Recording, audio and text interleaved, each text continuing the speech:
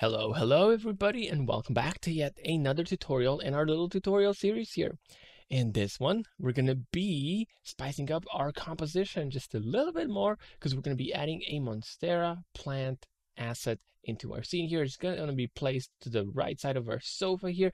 And as we're doing that, as we're adding that extra element into our scene, we're going to be exploring a couple of additional workflows, such as, for example, how do you work with FBX uh, imports in Cinema 4D. And then we're also going to be taking a look at how to uh, set up basic plant materials. So we're going to be playing with translucency and all that cool stuff. And then last but not least, we're also going to be taking a look at how you can add round edges to your objects without actually having to model them. Okay, so it's going to be an information packed tutorial. And so it's going to be a bit longer, but we really hope you're going to learn something new here and we really hope you're going to enjoy it. So with all that said, how about we go to work here? So as our first step, how about we take a look at the Monstera plant asset that we'll be working with here. So it's this asset that you see right here. And this asset, you know, it looks like a really nicely, properly modeled plant asset. It has really nice topology. But if you take a closer look at its materials here, well, you're going to be able to notice that these materials are basically default gray materials with no textures or no reflections in them. Okay, so that's how FBX assets are typically going to import into Cinema 4D. And that means you're probably going to have to recreate pretty much all the materials that you see here from scratch. And that is a pretty common workflow for whenever you're dealing with assets that you've bought on third-party stores out there, because a lot of the times those assets have not been modeled in Cinema 4D. And so uh, the way that you import them into Cinema 4D is with the help of the FBX file format. And that file format is not really that effective for transferring over materials, unfortunately. So this is a pretty common workflow when dealing with assets. So uh, that's why we've decided to include it into our tutorial series here. Now, obviously, if you're using uh, the Chaos Cosmos, okay, uh, in that case, working with assets is a lot easier. You just uh, download the one you like, you import it into your scene, and, and it's going to come in with all of the materials already fully fleshed out. You are able to tweak them. So there's a lot less work with these. But, you know, sometimes you do want to get assets elsewhere, and that's perfectly fine. But, you know, in those cases, this is probably going to be how your workflow is going to look like. Okay. Now, the only thing that we've changed here, uh, when, once we've imported this Monstera plant asset, is that we've actually gone in and we've replaced standard Cinema 4D materials with these V-Ray node materials. And we did that just to save us some time here, because that is uh, really nothing that uh, is uh, very interesting or uh, hard to do. And so we just, you know, we made sure that all those materials got replaced. All right, so um, now that we know how our Monstera plant asset looks like, how about we copy it into our main scene? So we're just going to select it here in the object manager, and we're going to copy it over into our main scene. Then we're going to position it. So we're just going to put it to the right side of our sofa here. All right, so kind of like this. And let's also make sure that it does not intersect with the sofa. So I'll just pull it to the right a little bit. All right, cool. Then uh, let's bring up the VFB. We already have the interactive render running, as you can see. And uh, before we actually go in and we start messing with the materials, let's just organize our scene a little bit better here. So let's take all these uh, materials that came with the Monstera plant asset and let's just add them to a new layer, a layer that we're going to call Monstera plant layer. Okay, organizing your scenes is always cool. It makes working in your scenes a lot easier, and you know it's just gonna make you cooler as an artist. Okay, so uh, with that done, uh, let's jump out of our camera here. Okay, and let's uh, get closer to our Monstera plant here, uh, and let's maybe focus on this uh, topmost leaf right here. So let's get closer to it sort of like this. And then let's try and set up a nice little region render just so we focus all that rendering power uh, on that topmost leaf because this is the leaf that we're going to be uh, materializing first here. Okay. Okay. Now, if I try and select the uh, topmost leaf here, the one that we want to work on, you're going to notice that we've basically selected the entire Monstera plant, say for the vase and the, uh, or the pot and the pebbles and the soil there. Okay. And so all these leaves, all these stems, they're just one object, one mesh. And you can clearly see that if you take a look at the object manager here. Now, that's not a problem, uh, just because, fortunately, we have all these selection tags here. And if we just cycle through them, you're going to see that they select individual sort of components of this Monstera plant um, asset. And so we can just cycle through them until we get to that topmost leaf that we're to uh, materialize first here. So once we find that selection tag, let's, let's remember its name. So it's called the Zag Monstera Leaf 06 selection tag. And now what we're to do is we're to cycle through the material tags here and we're to search for the one that is being constrained by that particular selection tag. Okay, so let's just cycle through these. And there we go. We found the correct one. So uh, as you can see, this particular material tag is being constrained by the Zag Monstera Leaf 06 selection tag, and the material that it's constraining is this Zag Monstera Leaf 06. So the naming conventions here are pretty cool and they can make our lives a little bit easier because as you can see, the selection tag uh, names match to the materials that they're confining. Okay, so um, now that we know which material we're dealing with, let's just uh, select it from our material manager here and let's open up the node editor because now we're gonna go to work with this material.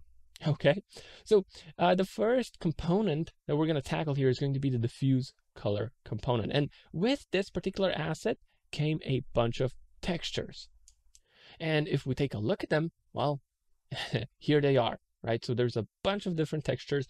And what's really cool about this particular asset is that the naming conventions are really solid. So if we take a look at the names here, you're going to see that uh, this texture right here is named Zag Monstera Leaf 06, which perfectly matches to the material we're working with here. Okay, so this map right here is the one for our material. And the little sort of text bit at the end here denotes what kind of a texture this is. So this one is a diffuse texture, and that's exactly the one we're going to want to plug into our diffuse color slot.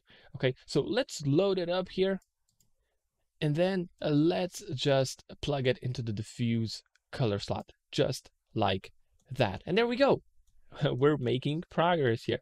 But now, now, uh, you're probably almost immediately going to be able to notice one thing that's a little bit odd here. So if we take a look at our leaf as it is right now, you're going to notice that it's actually appearing to reflect uh, something right? It's appearing, it looks like it has reflections enabled. But if we go into our material here, and if we go into the reflection channel, you're going to see that the reflections are actually disabled. So what is happening here? Well, if we uh, open up this diffuse texture, okay, if we just take a closer look at it, well, you're to immediately be able to notice that the reflections are kind of baked into the diffuse texture that we have in front of us here. So whenever this photo, this scan of this leaf was taken, uh, the reflections were actually part of it. Okay. And that's not what you want to see with your diffuse maps, with your diffuse bitmaps, because if you're after that realism, if you're after creating realistic materials, you don't want reflections to be baked in to your diffuse textures because obviously these are the reflections that were there when they've taken this photo, when they've taken this scan, and they're not the reflections that would be there in our scene here, okay? So if we take a look at our rendered image, these reflections are not the reflections that are coming from our scene here, but the reflections that are baked into the diffuse texture okay? And that's typically well that's really not what you want when you're when you're trying to create realistic materials but but sometimes in production these are just the kind of assets that you're going to have to make do with okay? So we're going to show you we're going to use this asset and we're going to show you that you can still do a lot with these kinds of assets okay? Okay so that's kind of it for the diffuse color component. We've got it all set up there.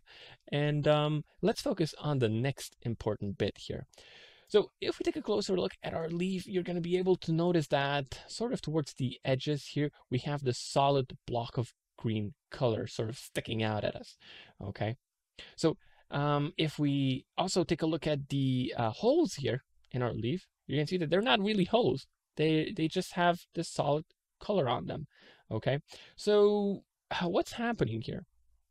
Well, typically with pretty much most of the plant leaf assets that you're going to be dealing with. Okay, uh, to conserve on the modeling time and to conserve on the polygon count, you're going to want to use opacity maps to cut out these details essentially. Okay, now why is that? Well, if you take a look at our uh, Monstera plant uh, asset here, you're going to see that it's relatively low poly.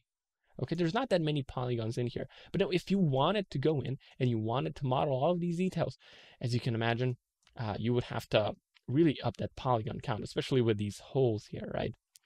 So um, that's not a big problem for a single Monstera plant asset, but if you had uh, like a tree with a lot of leaves, and if you would want to model all of these details on those leaves, that could really skyrocket the polygon count, and that would slow down uh, the rendering process potentially.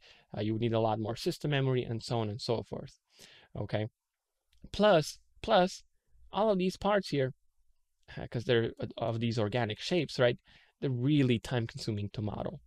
Okay. So that's why you're going to be with pretty much uh, all of the uh, leaf assets out there, you're going to be uh, dealing with this opacity workflow that we're going to showcase next year. Okay, so the opacity workflow is basically real simple. You just have an opacity map that you plug into the opacity color slot. Now, our Monstera plant leaf asset here came with proper opacity maps. There are these maps that you see right here, and they're just black and white maps that we're going to use as cutouts. Okay, so um, let's uh, let's load up this uh, opacity map. Let's just copy this bitmap here and load up the uh, opacity map into it. Okay. And now let's just plug it into the opacity color slot. All right. And just like that, look at that.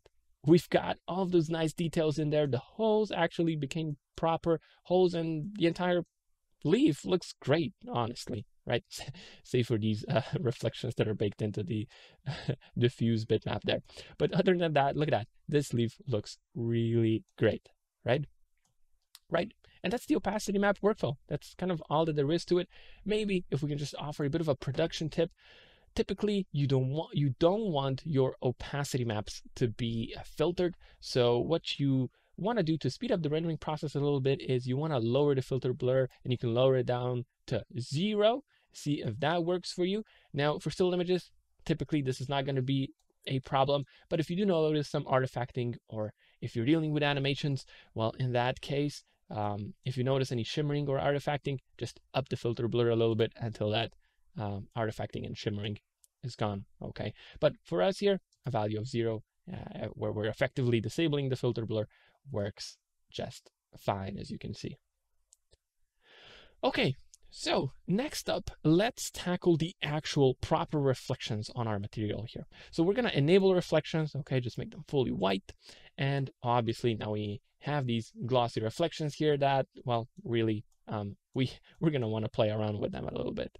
So um, this asset came with reflection and glossiness maps, but they're not really that detailed. So we are not going to use them.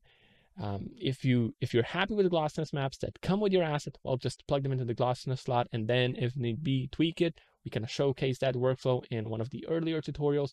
But in our case here, uh, we're not really that pleased with the glossiness maps that came with this asset, so we're gonna come up with our own ones. So what I'm gonna do here is I'm just gonna copy this bitmap node and I'm gonna load in an imperfection map that we all know and love at this point. So it's gonna be this one right here.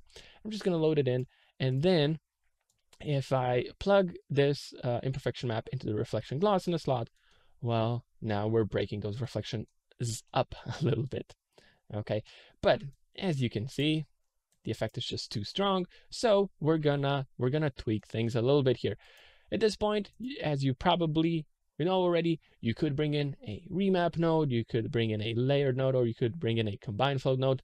That's actually the one that I'm gonna go with here and we're just going to plug the imperfection map into it and then the entire setup we're going to plug into the glossiness slot and so now we can start tweaking things a little bit more in detail. So the first thing that I like to do is I just like to lower the mix strength down to 0% and I like to input that base value for my uh, glossiness. So let's try a value of 0.9.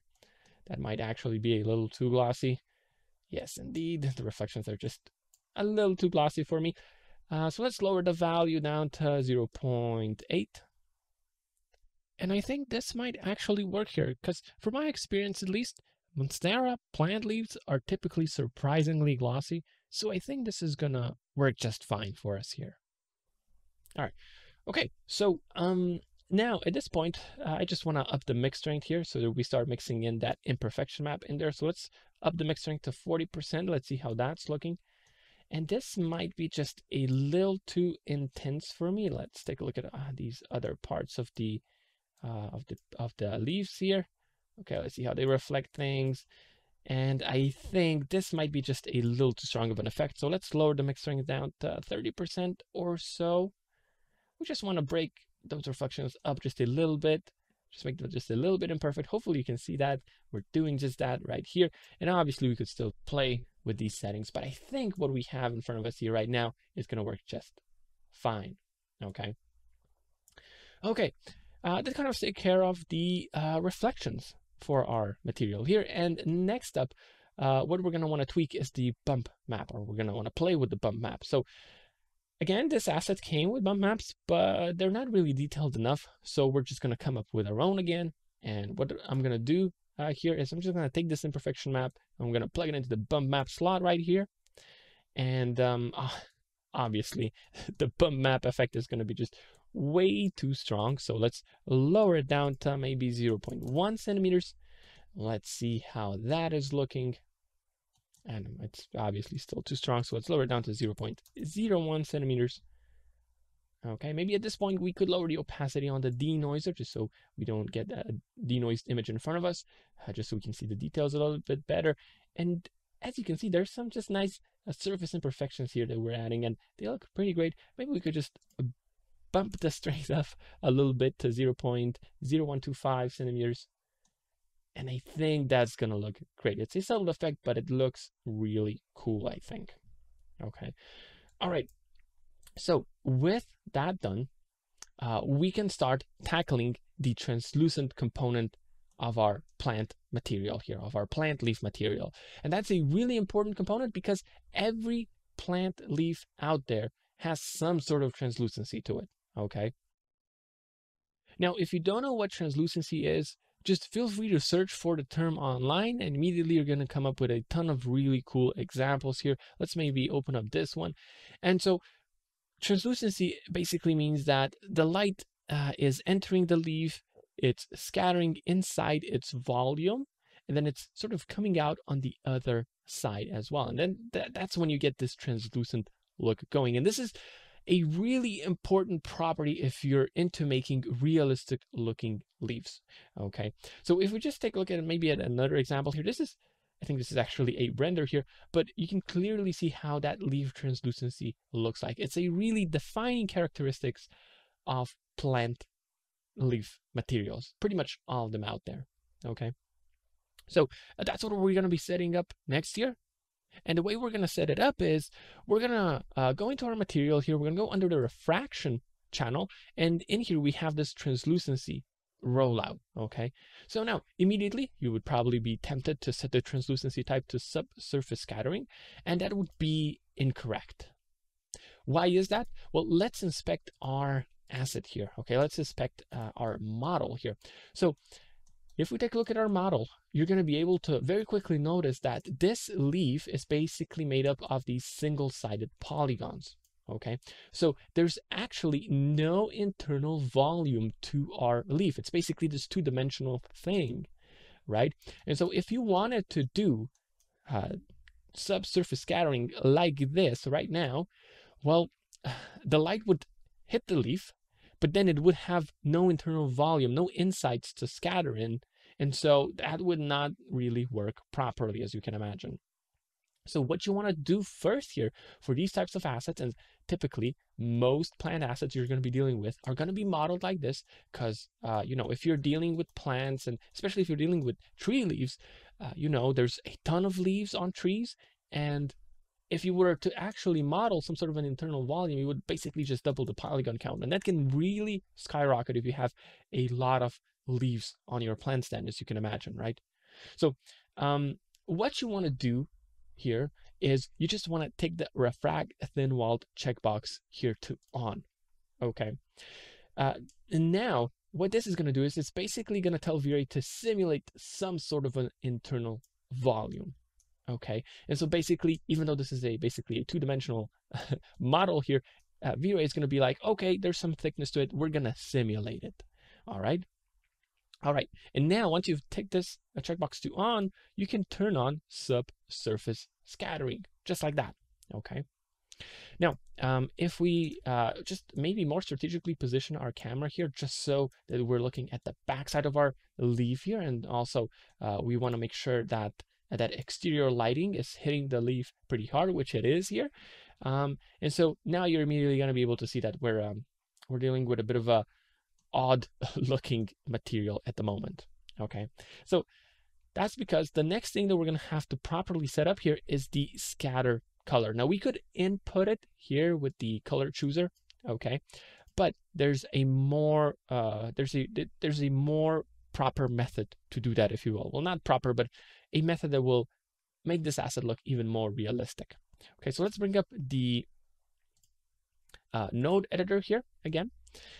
And uh, what you typically want to do with the scatter color is you want to plug in a proper scatter color map into it. Now, if you don't have it, and we don't have it for our asset here, you can kind of devise one on your own. Now, it's not going to be the most proper translucency scatter color map, but it's going to get the job done really well, as you'll see.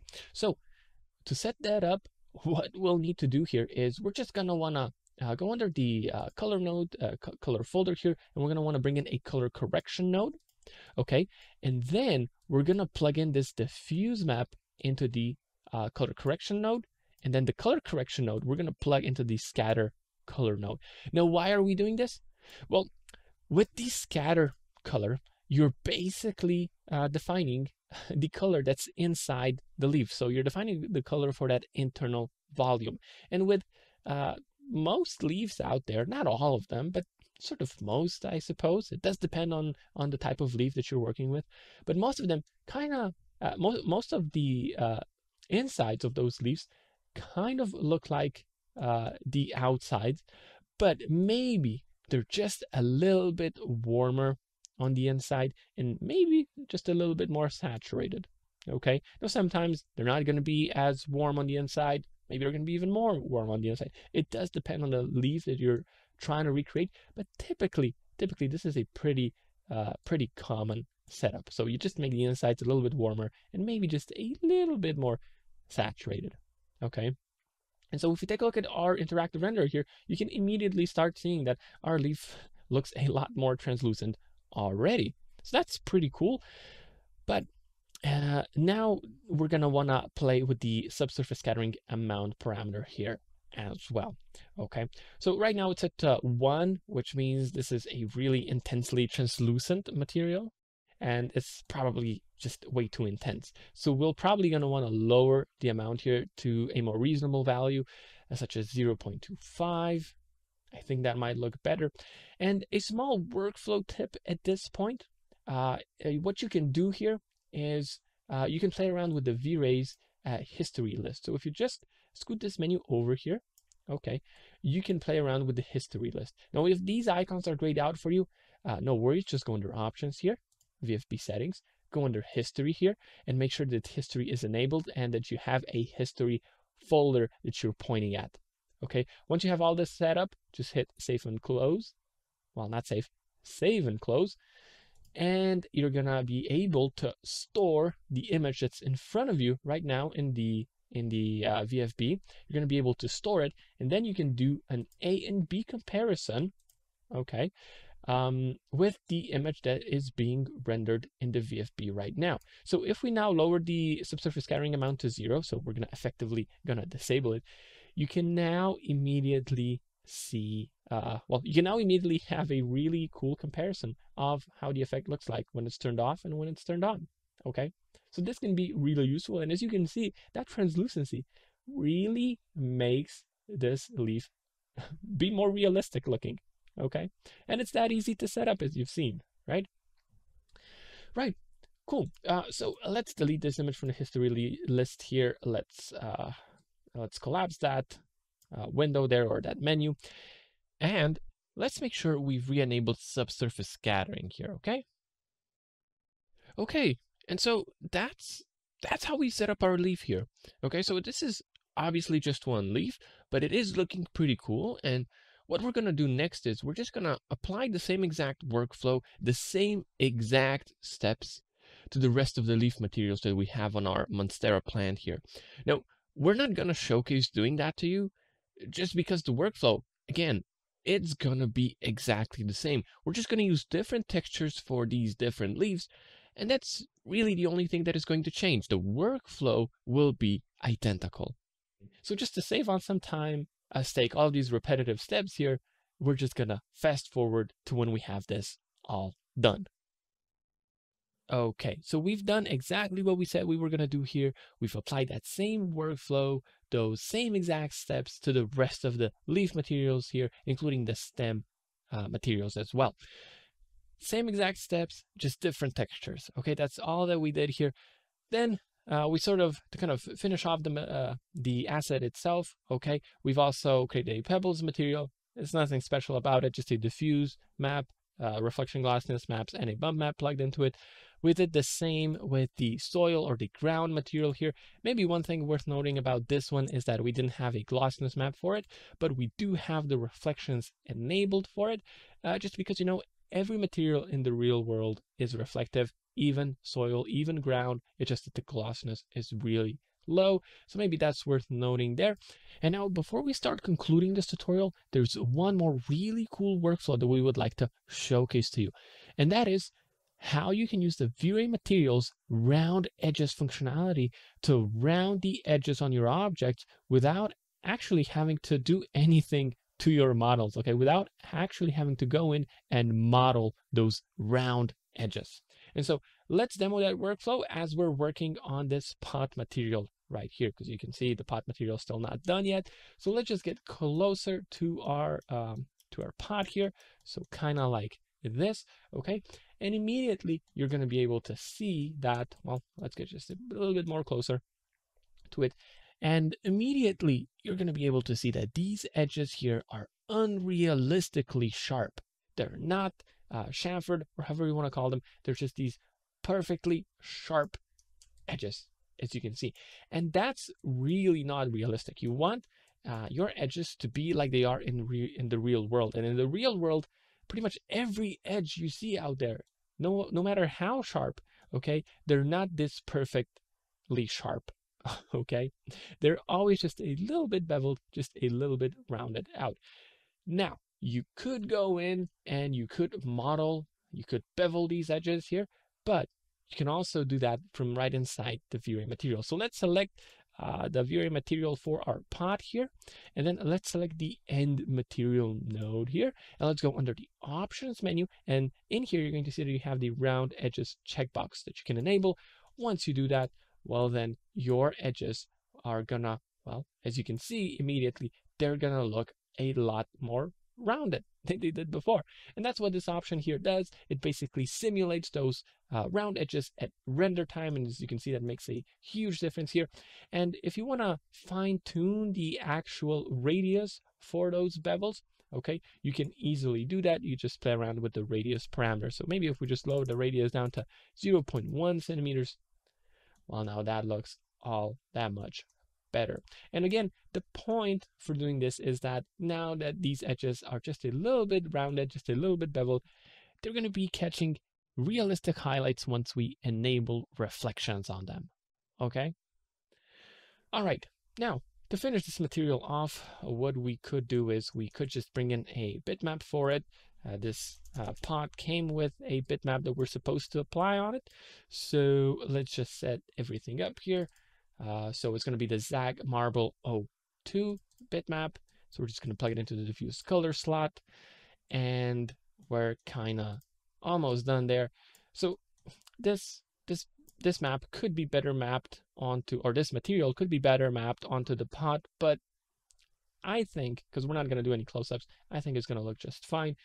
Uh, we don't have any glossiness or a bump map imperfection maps um, to plug in here. So we're just not going to worry about those here. Uh, what we will do, however, is we will enable reflections. Okay, so kind of like that Maybe we could lower the glossiness down just a little bit. Remember, this is marble we're working with, so glossiness is going to be pretty high, but I think we're going to be fine with how things are currently set up. Now, obviously, you are encouraged and you are advised to plug in glossiness maps, even if you come up with them on your own uh, and do the same with bump maps, because those are really the key ingredients to making materials look realistic. But just to save on some time here, we're not going to do that right now. Okay. Um, then maybe uh, just the next thing, the final thing to set up would be that inner part of the vase uh, or uh, inner part of the pot, inner part of the pot. Yes, that's what I wanted to say. So we could do that. Uh, let's just select that inner part here. Um, and let's just make this a really uh, metal looking material like let's well not let's not make it metal looking let's make it metal so let's up the reflections here we're going to go with the IOR uh, method here. So we're just going to up the IOR to, uh, to a high value, and then we're also going to lower the diffuse map. Now we showcased this entire workflow in one of the earlier tutorials. So if you're not exactly sure what we're doing, uh, do feel free to go back and watch it. Uh, what we could potentially still do here is we could plug in a bump map uh, just uh, to have some of those imperfections in there. We could plug in the glossiness maps, uh, you know, to break up those reflections just a little bit. But we won't really bother showcasing it uh, just because, you know, we've demoed how you can set all these things up a couple of times already. So that's uh, really a workflow that you're probably really familiar with at this point. Okay. Okay, now before we sign off here, maybe just a little bit of a quick production tip here. If we just open up one of these uh, plant leaf materials here, um, just so you know, just so that we mention it, whenever you're dealing with diffuse bitmaps, okay, uh, these are meant to be loaded in the sRGB color space. Uh, they come loaded in like that as defaults. Same holds true for the bump and glossiness maps. They're supposed to be loaded in as sRGB maps. And if you'll remember, if you'll remember, um, normal maps, however, are supposed to be loaded with the linear color space. And the same holds true for displacement maps. So just a little bit of a tip there, okay, just so you know how those things are supposed to be set up. And with that, we'd like to conclude this tutorial. It's been a bit of a long one, but we did cover quite a lot here, and as always, we sincerely hope you've learned something new here. Thank you so much for tuning in. If you have any praise, constructive criticism, or ideas for our future tutorials, please let us know in the comments below the video. Again, thank you for tuning in and take care everybody.